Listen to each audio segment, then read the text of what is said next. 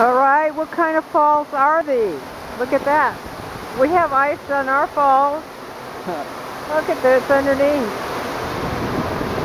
We have to name these falls. It's, it's a punch bowl falls because it doesn't touch the bedrock on its way down. It Ah. goes right into the pool.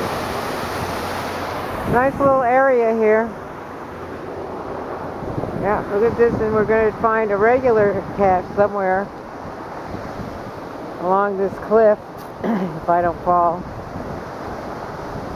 Whoa, look at that. I can't see, but you can. Ha ha ha.